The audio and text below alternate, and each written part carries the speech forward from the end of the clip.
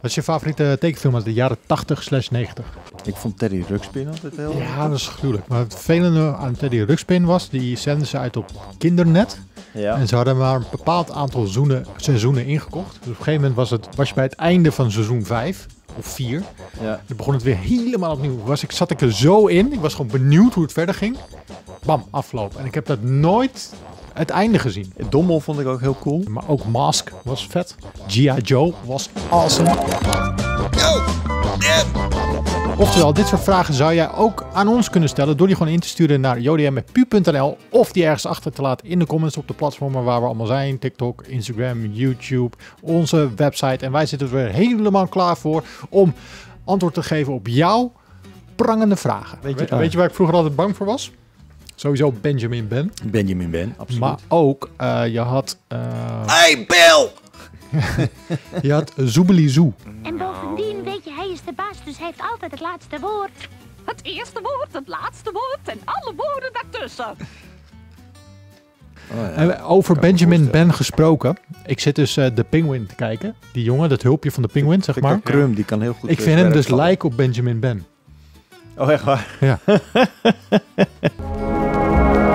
ja, maar dit is... maar dat is...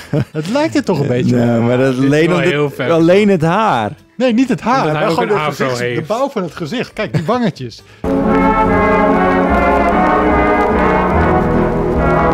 Oké, nou eh, gelukkig eh, komt eh, JST Des wel met een goede vraag. Eh, mijn PlayStation 5 staat in veilige modus en er staat sluit de controller aan met de USB-kabel en druk vervolgens op de PlayStation toets. Ik doe dit en er gebeurt niks. Ik zit vast in dit beeld. Aup, help. Nou ja, in dit geval eh, ben jij eh, niet Aup, maar eh, misschien kan je hem helpen. Eh, probeer eens een andere controller of een andere kabel. Het is, of je controller is helemaal leeg. Dat kan ook, dat hij even niet reageert. En dan zou je, hem of, zou je even die controller up, op, up kunnen laden. Door hem even aan je PC te hangen. Of misschien even aan je iPhone kabeltje. Zodat je hem een beetje juice kan geven. Eh, of een andere kabel proberen. Even- Of een andere USB-poort. Dat zou ook kunnen. Want eh, de voorkant van je PlayStation die eh, doet het soms niet in dit, dit soort modi. Dus drie dingen voor jou om te proberen. Ja. Probeer eens de USB-poort achterop. Daarna een andere kabel. En daarna een andere controller. Dark Lord Raven. Het probleem met die controller is het PCB-bord in de controller. Resetten zal niet helpen. Als je garantie hebt laten repareren, ze ruilen hem toch om dan. Ik had er één, die heb ik weg kunnen doen. Gebruik het voor reserveonderdelen. Je kan alles besturen in je homescreen, maar in de game home maar. Oh, dat gaat over die, eh, die vraag dat hij op een gegeven moment niet in de game kon, eh, kon besturen, maar wel in het Oh. homescreen. Ik heb een probleem met mijn PlayStation 5. Dit is bijna twee maanden geleden ineens gebeurd en tot nu toe slechte hulp van Sony en Mediamarkt. Elke keer als een applicatie inga, kan ik niet meer bewegen met mijn controller. Dat was lang geleden. Dus hij zegt, het probleem met die controller is het PCB-board. Reset zal niet helpen. Eh, als je het garantie hebt, laten repareren. Ze rijden hem dan om. Nou, bij bedankt- deze. be- Bedankt Dark Lord Raven. Ja, dat is eh, goed. Dit is eh, crowdsourcing van onze antwoorden. Dat is Ja, dat beter, kun- hoeven wij niks meer te doen. Ja, inderdaad. Frank, die zegt... Hey, ik zag dat Arena Breakout Infinite op Gamescom was aangekondigd voor PlayStation 5. Is daar al wat meer over bekend omtrent release datum? Groetjes, Frank. Als ik het zie, dan denk ik dat ik het wel weer herinner. Ja, zit Tarkov-achtige game. Maar nog geen release datum. Je kan wel downloaden. Early access, early access kan je downloaden. Oké, dus je kunt hem eigenlijk al spelen. Ja, in early access. Maar kun je hem ook al spelen op de PlayStation 5? Nee. Alleen op eh, PC op dit moment. Oh jee. Ja. Nog geen release date, Frank? Sorry man. Early access. Maar bij deze houden we hem in, de gaten voor je. Deze is van Wesley. Die vraagt, is het mogelijk om de kleur van de strip te veranderen? Bedoel, ik weet dat het niet gaat via PS zelf, maar misschien met een herprogrammaatje. Ben namelijk van plan mijn PS5 zijn looks aan te passen. Oké, je hebt om je controller heb je inderdaad om de touchpad heb je zo'n lichtstripje. Die kan je aan je PlayStation kan je die niet van kleur veranderen. Die verandert van kleur als je player 1, 2, 3 of 4 bent. Of in de game, als bijvoorbeeld in GTA de politie achter je aankomt, zie je dat lampje gaan. Ja. Als je hem aan je PC hangt, kan je wel die kleuren aanpassen. Maar je kan hem daarna niet loskoppelen en weer Ja. aan je PS5. Dus het kan niet. Game Planet 1238 Die zegt, eh, zou screenshare vanuit de PlayStation 5 naar Discord een keer mogelijk worden? Hmm, ik denk dat dat lastig wordt. Ik denk niet dat ze dat zo eh, dat ze dat eh, belangrijk vinden bij PlayStation. Ik denk het ook niet, ik weet niet. Ik weet niet wat ze in hoog goed hebben en wat die, hoe die samenwerking er verder uit gaat zien. Ja. Heb je het, gebruik je het veel? Discord. Discord en Eh, PS5? PlayStation? Nee, nooit. Ja, wij zitten nu dagelijks op de Discord. Oké. Maar het makkelijkste is om even, dat hebben wij tenminste, we hebben gewoon een server met alle vrienden die, eh die er toe doen. Dan zitten wij dus iedereen die nu kijkt en, en zich als vriend van Enno beschouwt en die Ja. zit niet Ik zit in er niet in. Zit jij erin? Nee, ik zit er niet in. Ik zit er ook niet in. Wil jij zowel ons samen in een groepje? Wij doen er dus niet toe. Maar we doen wel een eigen groepje. Wil jij ook in ons groepje? Ja, zie je. We hebben al drie mensen in ons groepje. Jij mag er niet bij. Helemaal goed. Ja, dat, dat raakt me toch wel diep. Dit is trouwens eh, G. Misui. Mhm. Dat is een voetballer. Hij zegt, eh, ik heb EAFC bij eh, Epic Games gehaald op mijn PC. Maar als ik überhaupt al in het menu zit, switchen de koppen, knoppen steeds naar toetsenbordknoppen. Dus kan ik het niet goed spelen. Hoe kan ik dit verhelpen? Ehm, dit, dit gebeurt mij ook wel eens, maar dat gebeurt eigenlijk alleen maar als ik per ongeluk op het toetsenbord even druk. Ja. En dan... eh, het Of kan, je muis aanraakt. Ja. of mijn muis aanraken, inderdaad. Dus je moet er even voor zorgen dat je dat niet doet. Dan zou het ook kunnen eh, zijn dat je controle niet heel erg goed is aangesloten. Dus dan moet je even kijken of je, eh, je kabeltje goed zit. Eh, want dat kan dus inderdaad dat hij dan disconnect en dan pakt hij weer je muis en toetsenbord en dat soort dingen. Dus ehm, als het je ja, echt dwars zit, dan zou ik dat even doen. Als het goed is, moet het zo opgelost zijn hoor. Nou, top knal.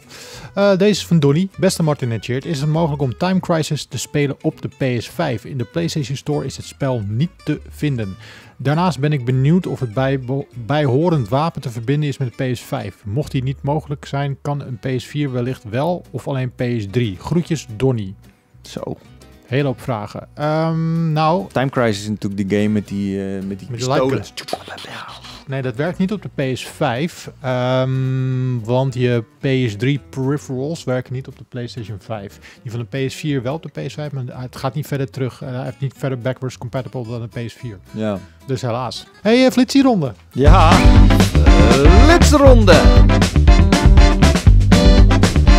Het is weer tijd voor de flitsronde, mensen. Hou je vast. Komt u maar met die vragen. Ik heb één vraag binnengekregen. Oh, nou, is dan klaar.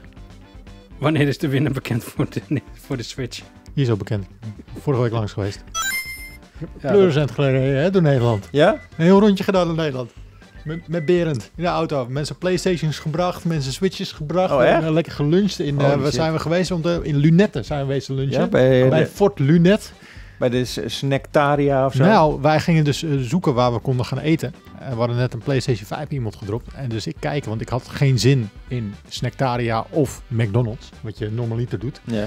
Uh, dus ik ging even kijken en toen kwamen we uh, bijna bij Fort Lunet. Dat is letterlijk een fort, ergens Mhm. in een natuurgebiedje, midden in Lunetten. En uh, dat werd het was een, ook een soort van dagbesteding. Dus de, De de beren, die was wel op zijn plek. ja, dus die mensen waren daar lekker voor ons uitsmijtertjes hebben ze gemaakt. Buiten waren ze fietsers aan het repareren. Uh, fietsen aan het repareren. Dus nee, was heerlijk, was leuk. was een leuk dagje. Maar die Switch is dus al weg. Uh, de tv hebben we ook een winnaar voor uitgekozen. Die komt op woensdag ophalen. We hebben nog meer weggegeven. Uh, we hebben echt veel weggegeven de laatste paar weken. Moeten we gewoon binnenkort gewoon even een, uh, een prijzen-update doen. In ja, je kan altijd onze prijzen checken. Wie er heeft gewoon op pu.nl slash win. Daar kan je het altijd checken of hij er al uit is en wie hem heeft gewonnen. Willen jullie nog die tien uh, ja? game-gerelateerde vragen? Ja, ja, ik ben er klaar voor. Kom ik heb nu ook de antwoorden bij. In welk jaar werd de eerste versie van Pac-Man uitgebracht? Uh, uh, 73. 63? 1980, zegt hij. Oh. Uh, in welk, wat is de naam van de hoofdpersonage in de Zelda-serie? Link. Precies. Welke console introduceerde de controller met een analoge stick? Dat was PlayStation. PlayStation. Nintendo 64. Oh, natuurlijk. Oh, ja. natuurlijk, ja. Dat, uh, dat ding wat zeker kapot ging. Hoe heet de gevaren uh, gevechtsarena in Super Smash Bros? Ja, hoe heet dat? Final Destination. Oh. oh. Wat is de hoogste rang in League of Legends? Weet ik niet. Iets, iets geks. Is, het is niet... Uh... Nee, die is niet afhoud. Nee, laat maar. Challenger. Challenger. Welke kleur heeft de iconische outfit van Mario? Rood en blauw. Rood.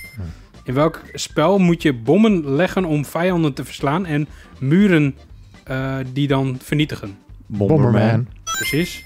Hoeveel spelers kunnen je deelnemen aan een team in Overwatch? Vijf.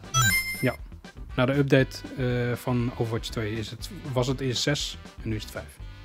Wat is de naam van de slechterik in Final Fantasy 7? Ja. Sephiroth. Ja. ja. Sephiroth. Welke game, en als laatste vraag, welke game introduceerde de Battle Royale modus als mainstream fenomeen? Fortnite. Fortnite. Was PUBG niet mainstream? Niet mainstream Niet, genoeg. niet mainstream genoeg Niet voor, eh, ChatGPT. ChatGPT. Oké. Oké. Nou, leuk. Goeie Nou, een beetje geïmproviseerd. Ik vond het leuk. Nou, eh, dan eh, kappen we er maar mee. Hè? Eh, we moeten toch een beetje stoppen op ons hoogtepunt, Daarom. lijkt mij. Eh, bedankt voor de vragen. Dat wordt zeer gewaardeerd. Mocht jij ook een vraag hebben, dan kun je die natuurlijk stellen via @powerlimitednl op TikTok en @powerlimited op Instagram. Natuurlijk jodm@pu.nl als je die via de mail wil doen en als je die gewoon in de comments wil droppen. Nou, zo gaat dat heel makkelijk. Volgende keer dan eh, zijn we er gewoon weer en eh, beantwoorden weer nieuwe vragen. Zo eh, zijn we dan ook alweer.